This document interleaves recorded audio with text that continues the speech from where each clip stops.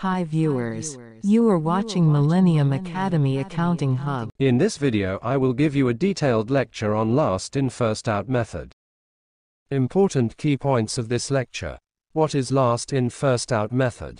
Why LIFO is a controversial inventory valuation method. How to prepare a store ledger account under the last in first out method. Let's start. LIFO stands for last in, first out. The pricing of an inventory under the assumption that the last items received were the first items sold. This means that the cost of goods sold will be based on current prices. Why is LIFO a controversial inventory valuation method? LIFO is controversial for a number of reasons. It can distort the financial statements of a company. It can give companies an unfair tax advantage.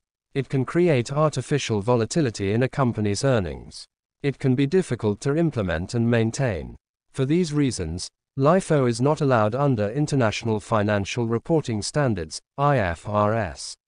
However, it is still allowed under Generally Accepted Accounting Principles, GAAP, in the United States.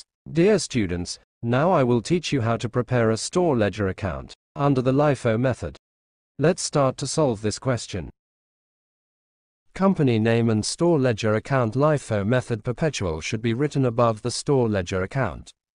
The store ledger will have four main columns. The first column will be date, the second will be received or purchases, the third will be sales or issued and the last column will be balance, received. Issued and balance columns will be further divided into three columns.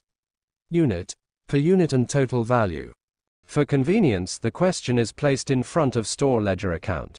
Now date-wise transactions will be recorded in the store ledger account. November 1st opening inventory 300 units at $5 per unit. This transaction will be recorded in the balance column. 300 units are recorded in the units column. Per unit $5 and the total value is $1,500. November 4 purchase 200 units at 7 per unit. This transaction will be recorded in the received column. 200 units will be recorded in the units column at $7 per unit. Total value is $1,400. Now the balance of November 1st will be recorded first, then the balance of November 4th will be recorded. November 6 sales 100 units. 100 units will be issued out of 200. Because LIFO method assumes that the most recently purchased items are the first ones sold. Now we take the current price that is $7 per unit and the total value is $700. The remaining units will be recorded in the balance column. 300 units will record a total cost of 1500 at the rate of 5. Out of 200 units, 100 units were issued. Now the remaining 100 units will be 700 records at the rate of 7 per unit. November 7, sales 200 units. 100 units will be issued at 7 per unit, and the remaining 100 units will be issued out of 300 units at 5 per unit. The remaining 200 units will be recorded in the balance column at 5 per unit and the total value is $1,000. November 9 purchases 500 units at 10 per unit. 500 units will be recorded in the received column at 10 per unit and the total value is $5,000. In the balance column first recorded 200 units at 5 per unit and the total value is $1,000.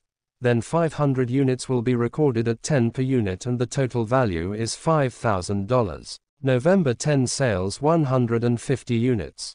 150 units will be issued from 500 units at 10 per unit and the total value is $1,500. In the balance column, 200 units at 5 per unit, and the total value is $1,000. After issuing 150 units from 500, the remaining 350 units are 10 per unit, and the total value is $3,500. Summary The total value of closing inventory is $4,500. Cost of goods sold is $3,400. The total value of purchases is $6,400. I hope this helps. Let me know if you have any other questions. If you like a video then please subscribe to our channel and press bell icon for regular updates.